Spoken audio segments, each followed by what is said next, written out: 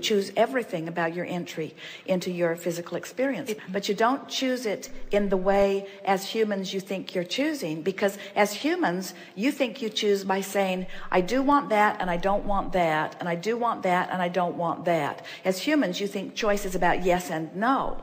But as source energy choice is always about yes yes yes yes yes in other words, once you get into your physical experience, many of you second guess, I'm sure I would not have chosen these parents. I'm sure I would not have chosen these parents because it's hard to be here. But then what did we just say? You wanted contrast because contrast causes expansion. So from your non-physical perspective, you said, what could be better than an early contentious experience, which would cause me early expansion? But once you get here, you say, what went wrong? No one in their right mind would have chosen these parents. And so then you say, clearly I didn't choose this because I wouldn't have chosen this. So people choose cancer. Don't you find that interesting? People choose cancer. People choose illness. People choose bankruptcy. People choose horrible relationships. And yet people would say, oh, Abraham, that doesn't make sense. Nobody would choose those unwanted things. And we say, we didn't say you looked at them and said yes to them. We said you looked at them.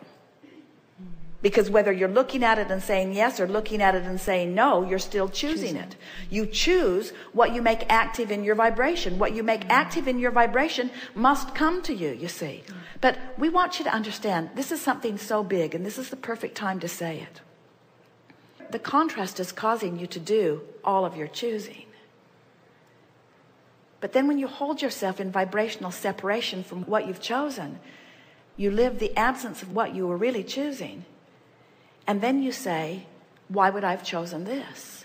And we say, it's your weakness of not being in alignment with what you really chose that causes you to live the absence of what you really chose. You with us? This is the same subject as there is no dark switch. You don't walk into a room and look for a dark switch.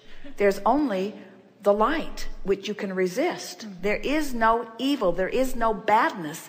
There's just disallowance of the goodness. There's just disallowance of who you really are and what you really have chosen. So when it feels like you're making bad choices, we would like to say, and we would like you to say it and remember it and repeat it until you really know it. It isn't that I'm making bad choices. It's that I'm not in alignment with the good choices that are really who I am. We know it sounds like nitpicking. But if you could get inside of that idea, what would happen to you as you begin recognizing this is that you would begin to realize this powerful premise that is so absolute. If there were one thing that we could open your being up and surgically insert, it would be this. Well-being abounds and things are always working out for you. Things are always working out for you.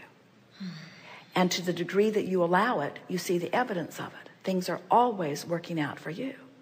So even sometimes when the contrast looks like it's not, the contrast is just causing you to define more clearly exactly how you would like things to work out for you.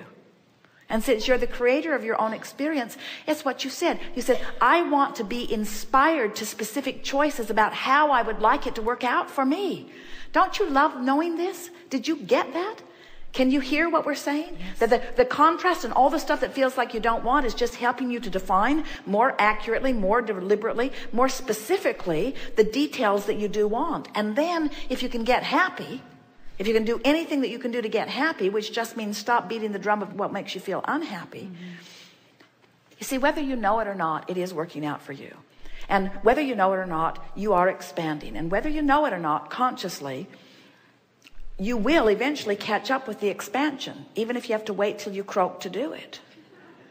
And so nothing that we're saying even needs to be said because you can't get it wrong. You're going to come forth you made the decision. You're going to be born. And from this vantage point, you can't undo that. You're born.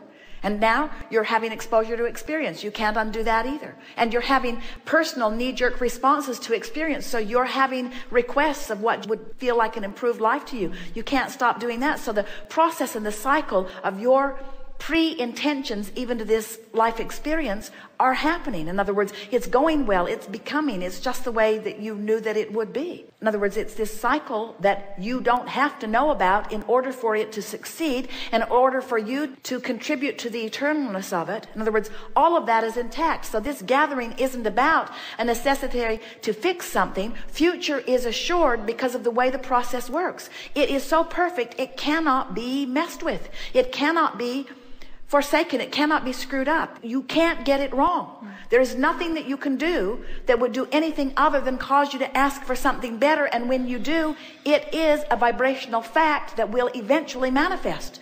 And there is no regression when you're wise enough to start making the thought that feels better your criteria, you're not telling the story because it's true or because it's fact or because it's entertaining. You're telling the story because it feels better, because it feels better, because it feels better. Mm. Now you move to this place and this place and this place and this place and this place. And before you know it, you're not a match to the contrast. You're a match to what the contrast produced. You're a match to the expanded version of you. And now you feel triumphant.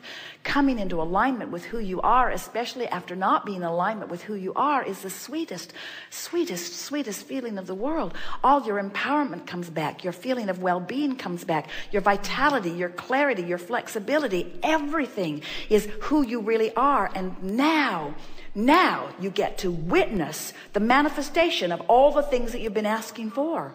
Deliberate creation is the only creation that will ever satisfy the likes of you. You know too much. You can't go back.